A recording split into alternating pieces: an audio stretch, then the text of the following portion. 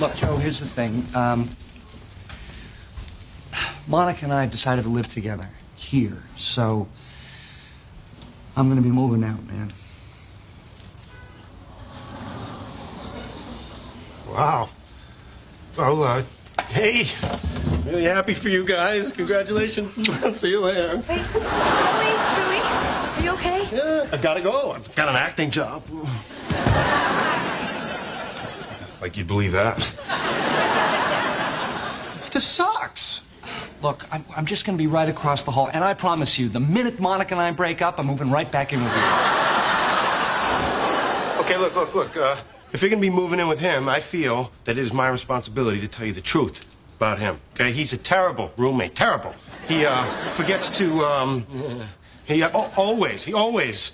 Uh, oh, who am I the best roommate ever. Yeah, it's gonna be weird, like when I come home and you're not here. You know, no more Joey and Chance. No more J and C's. Wanna go over to Joey and Chandler's? Can't. It's not there.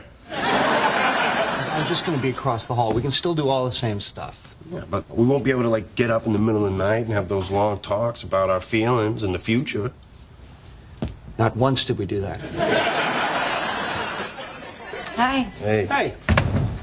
So I, I told Rachel that it's just going to be the two of us. Oh, yeah? Well, how'd she take it? Really well. Yeah. Surprisingly well. Yeah, she, she didn't cry. She wasn't angry or sad.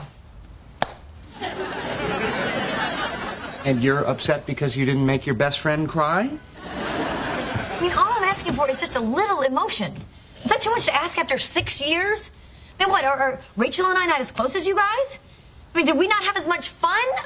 Don't I deserve a few tears? I mean, we, we told Joey he cried his eyes out. Hey! I did not cry my eyes out. Come on, it's like the end of an era.